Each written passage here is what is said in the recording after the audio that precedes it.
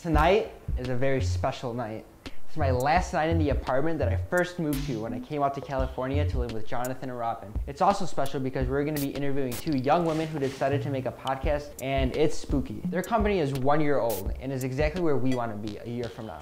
Tonight, I'm going to pick their brains to figure out what it really takes to create a podcast and see all the ins and outs of producing something creative. So, guys, without any further ado, let's go conjure some spirits. We should murder together. Let's do it. That was pretty easy. Hi, Ben. I don't want Ben to visit me in my bed again. So, first off, how do you know that his name is Ben? We don't actually know his name is Ben. Should I start from the beginning? Do you know the whole story? I don't know anything about Ben. Okay, I'll tell the whole story. So what happened was I moved into my apartment in Hollywood from Southern Illinois. Right across the street from Paramount, you can almost look into Hollywood Forever Cemetery. I was doing my hair in the bathroom and someone came up behind me and I thought it was my boyfriend at the time, Michael, and he asked me a question, "What are you doing?" And I said, "I'm doing my hair. What are you doing?" He walked away and I walked out into the living room. I was completely alone. My beliefs were completely shifted by Ben. Like, I didn't think that they could actually interact with you in any way. We picked cider. Hot Apple cider. Almost broke it. the blood of Christ. Hey. How are you ladies doing today? Wonderful. So good. Thanks for Never having been us. better in my whole life. What? That's I'll take it. Statement means you have a great show. I'm Ashley. And I'm Lauren. This is Lauren, and we are Keep It Weird podcast. The podcast for everything Strange, unusual, paranormal, supernatural, creepy, sticky, scary, gross, and everything in between. Yes, I love it. It's just us. It's just us. We're a it's just duo. The two of us. We have 40 full episodes. We Mm-hmm. have been a guest on another podcast for an episode. We have four full video sods. Yeah. And we have eight half hour This Week in Weird, which is our new segment on YouTube. Yeah, we have, we have some content out there. Yeah, in a year we've put quite a bit of content out there, more than I thought we ever would. We sit down once a week Uh-huh. with a friend, coworker, family member, whomever. We talk about something weird, hometown haunts. So we'll take just California, and we'll talk about like the um, UFO sightings, serial killers, cryptids, haunted locations in like just Southern California. We've known each other for say seven years. Seven years. Seven yeah, years that's insane. And we always wanted to do something together creative. I, I was a restaurant manager for years and years and years, and finally last year I was like, I don't want to do this anymore. And I quit. I was unemployed for months, and I was just dying to find a creative outlet. It was something we talked about for a long time. Yeah, we both love podcasts, and every time we would get together, a bottle of wine would come out. Like we'd get to talking, and every night would end with like, "We have to do a podcast. Why haven't we done this yet?" So then we finally that. had a night of like, "Let's get our butts in gear. What are we going to talk about? What do we like? What can our theme be?" and it just kind of clicked at the same time with both of us. Did. We threw a couple names out, and then it was like, They "Keep it weird. bad. Keep Sure. it weird." Just landed, and Yeah. It fits us. We decided let's just talk. Let's just talk as if we had a podcast. We'll have a conversation. We're gonna record it on this dumb iPhone, and then See if it's anything. See if it's anything. See if like we're interesting at all. Are we we're funny? Do we have chemistry? Are we only funny to each other? We gave it to our significant others, Right. obviously. A couple friends. Everyone said, "You guys are great. We Yeah. want to hear more." That's what you gotta do. My jewelry started moving around. I looked everywhere, could not find my rings. Eventually, I go to get dressed for the day and I get into my underwear drawer, which is the second drawer down, and all my rings are lined up. Ben started to get really active. The coffee pot was shattered all over the kitchen. Got another coffee pot, put the pot in. I turned around and I hear and then like crash. And Michael's looking at me and he just goes white as a sheet because he saw it fly across the room. So then I move in here. And after like maybe two months living here, I wake up and my rings are in the second drawer of the dresser. How long did it take you to start? we wanted to do it so bad, and We we, didn't were want to wait around yeah, anymore. and we also we had no money. We had the first hundred episodes planned out. Mm-hmm. We were ready to go. we got together We- and made a list of everything we wanted to talk about. Everything we we were want to so talk ready. about the structure of the episodes. I think when we first started, we were like, "It'll be you just record it and then Uh-huh. just put it up." we bought our first mic, and she learned how to use everything. I taught myself how to edit sound. Yeah. Wow. Which was very hard. I'm I had no editing experience. I Right. never edited anything in my entire life. Mm-hmm. So now I had she's to a master. myself. Yeah, and yeah. basically produce, edit, put it all on, and made it work. It was a lot of asking other people who had either attempted to make their own podcast or had their own podcast, like, what do you use? And then we found out, like, oh, this is the program I use to edit sound. Oh, this is the website that I use to host the podcast because you have a hosting website. Ours Yeah. is called Libsyn, and you upload it to Libsyn, And then it you goes to pay for that, iTunes. and then that goes to iTunes. Oh, Stitcher, that's how they do Play. it. We But did get a lot of all- Uh-huh. advice from the community. So it's like we had people around us that helped us, but it Yeah, definitely was Ashley taking all of that advice on and just saying, "Here we go. I'm going to uh-huh. produce this." And So- I think I gotta had a dive different in. question every, Every day. hour. I just have to figure out how to X, Y, Z. I just have to mm-hmm. figure out this. I just have to figure Sure. out that. Yep. And then we had a first episode. Microphone. This is what we recorded on literally all year. Four people on one mic. But we've upgraded. We've upgraded, guys. Now So now we have guys. microphone, Much crisper, close-up sound. right. headphones, Bink. mixer. Computer. Computer. Audacity. External hard drive. And last but not least, you need opening music. Yo.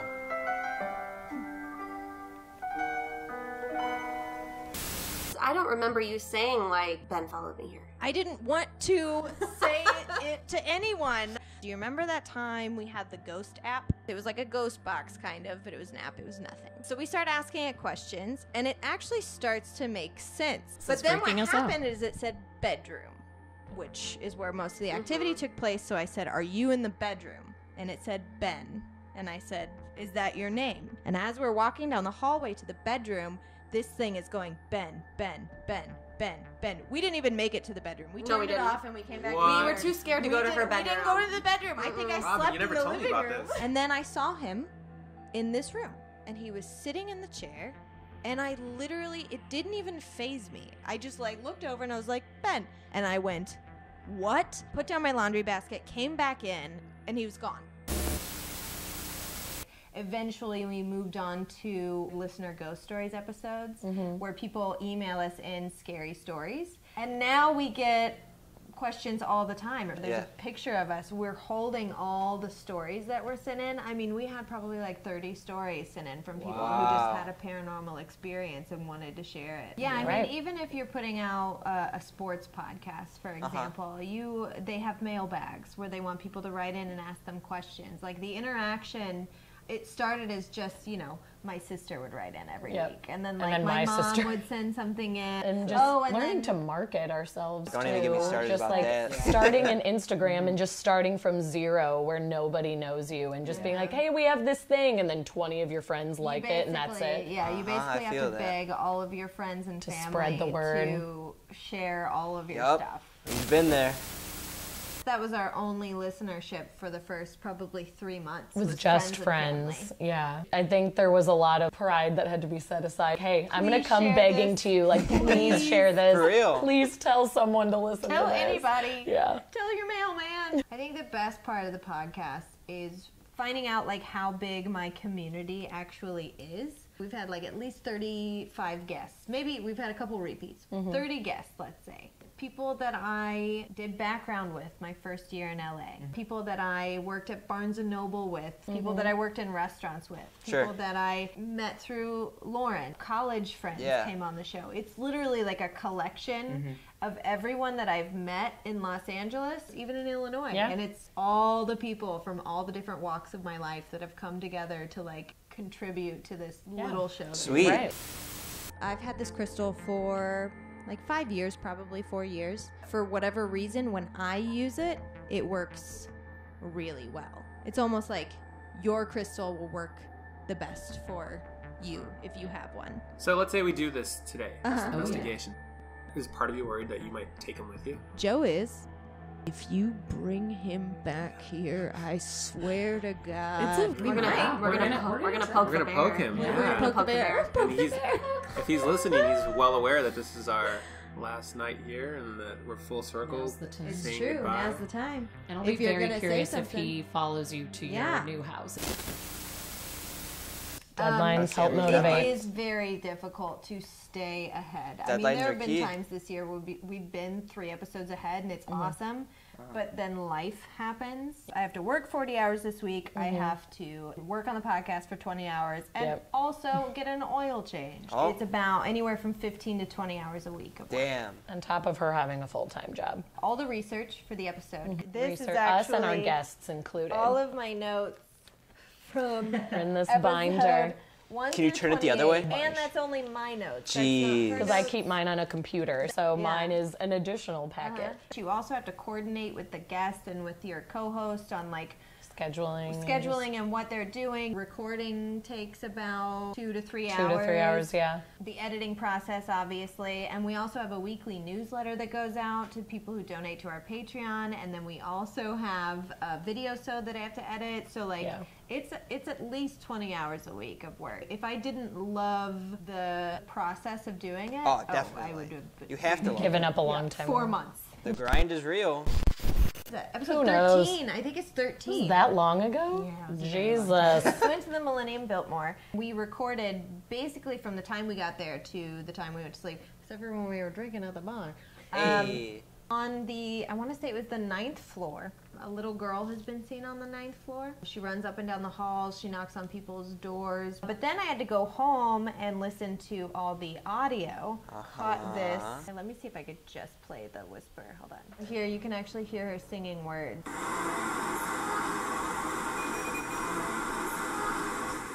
I know. We didn't hear that. And you could What the hear hell? with us talking that we were not hearing that live at all. We're both like, well, the EMF went off. Nothing's here though. Yeah. And then she didn't hear it until she went back. That's the crazy. audio. That the only ones in that hall. the only people in that hallway. This was late at night. We were like about to head back to our room. I have one more, but this happened when we were just like recording our podcast. Oh yeah, this happened oh. in This her apartment. This was in my apartment. The episode's called The Father, Son, and the Holy Kelly, and we're talking about angels and demons. Kelly is telling a story about her friend whose older brother was actually murdered by a man who claimed that the devil told him to do it. Well, I'll let you listen to hmm. it, and then you can tell me if you hear anything. Ready? All right. That's probably the only person I know who had someone that was murdered. This probably someone that was brother was murdered. That's right? so weird. EMF reader, microphone, crystal pendulum for communicating. That's it. So this is just for if we want to test out a certain area of the room to see if it's much colder than the other. Let's start in the living room. If you have anything that you would like to express to us, say to us. We have a microphone right here where this red light is. If you step in front of Lauren, who you may remember, she used to stay the night here all the time. If you step in front of her, that is an EMF detector. The closer you get to it, the more it will react. If you are here and you would like to let it be known that you are here, you can give us a sign. Mm-hmm. All right. Nothing in the living room, it seems. Should we do Robin's room? Let's try Robin's room. Seems to like that room. He decided to lay right here. Cool. And was standing about right here when I gasped. You like ladies? Maybe you don't like the presence of the men in the room. Oh.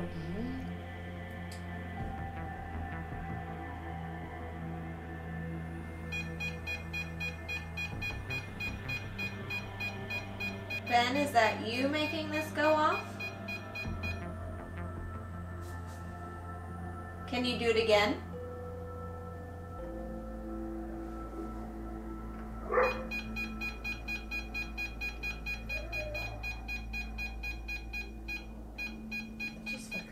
Not crazy, right? No, I thought it flicked.